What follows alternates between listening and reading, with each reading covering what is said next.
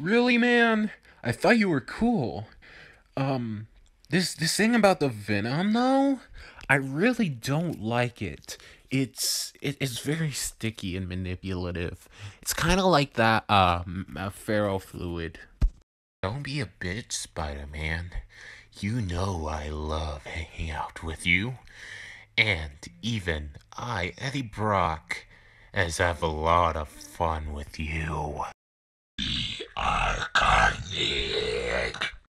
I'm not interested in being a hero. I'm just gonna tell you that now. Cause if I would become a hero, it would really sting on my reputation. Hello, my name's Spider Nick. I'm Spider-Man, but I'm an evil version of him. So I gotta talk like him and Venom.